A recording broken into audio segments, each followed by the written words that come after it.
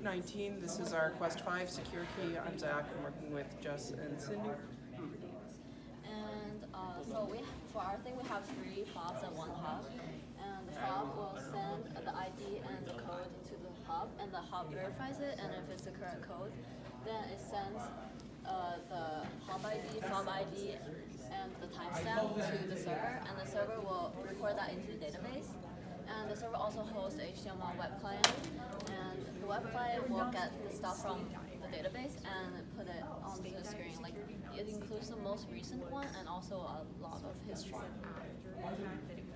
So some of our challenges for this were trouble with some of our hardware, like our IR LED and our IR receiver. Um, we also had some trouble putting the database on the and creating a lot of all the entries from the database onto the server.